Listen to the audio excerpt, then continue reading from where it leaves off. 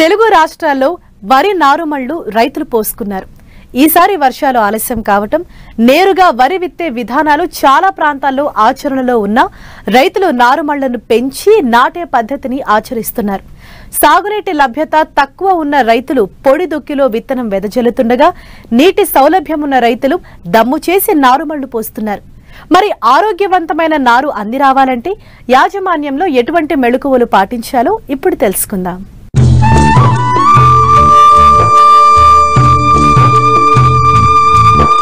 నాణ్యమైన విత్తనం ఆరోగ్యవంతమైన నారు వరిలో అధిక దిగుబడికి సోపానం. నీటి లభ్యతను బట్టి కొంతమంది రైతులు మెట్ట నారుమళ్ళ పెంపకం చేపడుతుండగా అధిక శాతం మంది రైతులు దంపనారుమళ్ళు పోస్తున్నారు. మరి నారు పుష్టిగా పెరిగి ఇరవై ఐదు నుండి ముప్పై రోజుల్లో అంది రావాలంటే విత్తన శుద్ధి పోషక యాజమాన్యం తప్పనిసరి అని సూచిస్తున్నారు. పశ్చిమ గోదావరి జిల్లా మారుటేరు ప్రాంతీయ వ్యవసాయ పరిశోధనా కేంద్రం సీనియర్ శాస్త్రవేత్త డాక్టర్ మానుకొండ శ్రీనివాస్.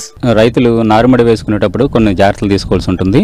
ప్రత్యేకించి ఏంటంటే విత్తన ఎంపిక దగ్గర నుంచి నారుమడి తయారీ నారు ఎరుగుదల అదేవిధంగా నారు ఎదిగిన తర్వాత మనం ట్రాన్స్ప్లాంట్ చేయడం. అంటే నాట్లకు వెళ్ళే పద్ధతి వరకు మనం చాలా జాగ్రత్తలు తీసుకోవాలండి. ముఖ్యంగా ఏంటంటే ఈ ఇరవై ఐదు నుంచి ముప్పై రోజుల నారుమడి యాజమాన్యం అనేది మన ప్రధాన పంటకై దిగుబడి మీద చాలా ప్రభావం చూపుతుంది కాబట్టి నారుమడి విషయంలో చాలా జాగ్రత్తలు తీసుకోవాలి. ముఖ్యంగా విత్తన ఎంపిక అనేది మన ప్రాంతానికి ముఖ్యంగా ఉభయ గోదావరి జిల్లాలో ఉండి లేదంటే రాష్ట్రంలో ఏ జిల్లాలైనా ఆ ప్రాంతానికి అనుకూలమైన వంగడాలను మాత్రమే ఎంచుకోవాలి. ఆ ఎంచుకునేటప్పుడు కూడా ఇట్లాంటి తెగుళ్ళు కానీ పురుగులు కానీ వాటిని తట్టుకునే రకాలు మేలైన అధిక దిగుబడినిచ్చే ముఖ్యంగా సన్న రకాల గురించి కూడా మనం ఆలోచించి ఆ రకమైన వెరైటీలు మాత్రమే ఎంచుకుని మనం వేసుకోవాలి. నారుమడి తయారు చేసుకుని ముందు ఎందుకంటే ఎంచుకున్న రకాన్ని ముందుగా విత్తనాన్ని నానబెట్టుకోవాలి. నానబెట్టుకోవడానికి ముందుగా దాని విత్తన శుద్ధి అనేది తూచా తప్పకుండా చేయాలి. మనకి భూమి ద్వారా కానీ లేదంటే గాలి ద్వారా కానీ లేదంటే నీటి ద్వారా కానీ మనకి తెగుళ్ళు వచ్చే అవకాశం ఉంటుంది. కెమికల్ రూపంలో అయితే కార్బనైజం మందుని మనం పొడి విత్తనాలకైతే పొడి విత్తన మందుకైతే మూడు గ్రాములు చెప్పిన లేదంటే తడి విత్తన మందు అంటే నానబెట్టి విత్తనాలకైతే ఒక గ్రాము కార్బనైజం పొడి మందుని ఒక లీటర్ నీటిలో కలిపి మనం విత్తనాలు నానబెట్టుకోవడం కానీ ఆ రకంగా చేసుకుని మనం నారుమడిలో చల్లుకోవడం అనేది చేసుకోవాలి. ఇక నారుమడి చల్లుకునేటప్పుడు ఒకవేళ ఆర్గానిక్ పద్ధతిలో కనుక రైతు సోదరులు వెళ్దాం అనుకుంటే కనుక బీజామృతం లాంటి లేదంటే మనకు లభ్యమయ్యే సూడోమోనాస్ సూడోమోనాస్తో కానీ విత్తన శుద్ధి చేసినట్లయితే మన ఆర్గానిక్ కూడా మనం విత్తనాలని వేసుకోవచ్చు. నారుమడి తయారడం విషయంలో ముందంటే నేలను బాగా దుక్కి దున్ని రెడీ చేసుకోవాలి. అంటే మెత్తగా దున్నుకోవాలి.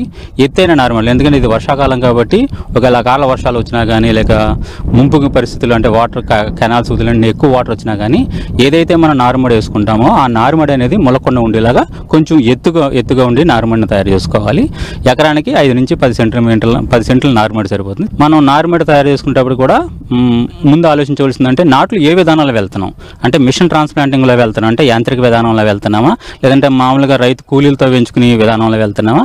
లేదంటే ఈ మధ్యకాలంలో మీ అందరికీ తెలుసు బెంగాల్ ప్లాంటింగ్ అంటాం. ఒరిస్సా ఛత్తీస్గఢ్ నుంచి మగ జంటలతోటి వేయించుతున్నారు బెంగాల్ ప్లాంటింగ్ అంటున్నారు. వాటికి వేయించుకోవాలన్న దాన్ని బట్టి విత్తన మోతాదుని మనం నిర్ణయించుకోవాలి. యాంత్రిక విధానం అయితే మనం రెండు ఆకులు ముఖ్యంగా అంటే మ్యాక్సిమం పది రోజులు పది నుంచి పన్నెండు రోజులు నారుమడి సరిపోతుంది. ట్రేల్ పద్ధతిలో కానీ లేదంటే ఎత్తైన ప్లాస్టిక్ షీట్ వేసుకుని ఎత్తైన నార్మల్లో తయారు చేసుకుని అవి యాంత్రికరణ విధానం చేస్తాం. అక్కడ మనకు వచ్చి పది కేజీల విత్తనం సరిపోతుంది పది నుంచి పన్నెండు కిలోలు. అదే మనం బెంగాల్ ప్లాంటింగ్ అనుకోండి వాళ్ళకైతే ఎనిమిది నుంచి పది కేజీలు సరిపోతుంది. ఎందుకంటే వాళ్ళ లేత నారుని అంటే సుమారుగా ప పన్నెండు నుంచి పదిహేను రోజుల నారుని లేత నారుని తీసుకుని సింగిల్ ప్లాంటింగ్ చేస్తారు వాళ్ళు. అంటే మనకు వచ్చి ఒకటే మొక్క పెడతారు. సో అట్లాంటి ప్లాంటింగ్ ఉంటుంది కాబట్టి అక్కడ ఎక్కువ విత్తనం మోతాదు కూడా సరిపోతుంది తక్కువ సరిపోతుంది. అదే మనం నార్మల్ రైతువారి పద్ధతులు మనం చేయించుకునేది అయితే ఎకరానికి వచ్చి ఇరవై ఐదు నుంచి ముప్పై కిలోలు పడుతుంది. సో అంటే విత్తన మోతాదు కూడా దాన్ని బట్టి మనం నిర్ణయించుకోవాలి.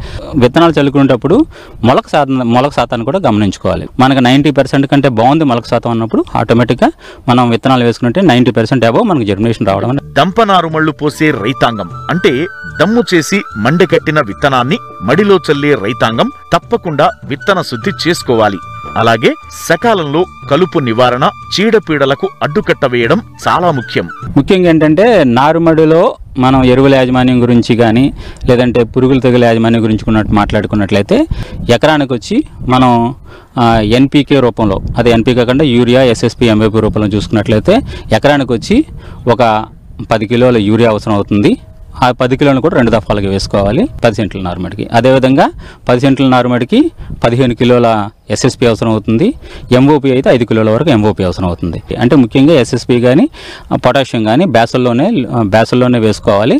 తర్వాత యూరియా అనేది మనం మొలకొచ్చిన తర్వాత ఒక వారం పది రోజులకి అదేవిధంగా నారు పీకే ముందు ఒక నాలుగైదు రోజుల ముందు కనుక వేసుకున్నట్లయితే సగం చేసుకుని మనకు బలమైన ఆరోగ్యమైన నారు తీసుకునే విధానం ఉంటుంది. అట్లా కాకుండా మనం సేంద్రియ పద్ధతిలో వెళ్దాం అనుకున్నాం. ఎందుకంటే మనం రెండు మాట్లాడుతున్నప్పుడు. సేంద్రియ పద్ధతిలో వెళ్దాం అనుకున్నప్పుడు ప్రత్యేకించి పశువుల ఎరువును బాగా చివి గుర్తుపెట్టుకోండి బాగా చివుకున్న పశువుల ఎరువులు మాత్రం వేయాలి ఎందుకంటే నారుమడిలో సరిగా చివక్కుండా అరకొరగా మాగిన పశువుల గత్తాన్ని వేసినట్లయితే వేడి ఎక్కువ పుట్టి ముందు నారు చనిపోయే ప్రమాదం ఎక్కువ ఉంటుంది. కాబట్టి బాగా చివుకున్న పశువుల గత్త ఉంటే కనుక వెర్మి కంపోస్ట్ కనుక ఉంటే కనుక దానికి లిమిట్ అని ఉండదు. మీరు ఒక ఒక యాభై కేజీల నుంచి వంద కేజీలు రెండు వందల కేజీలు అని వేసుకోవచ్చు బాగా చిక్కింది అయితే.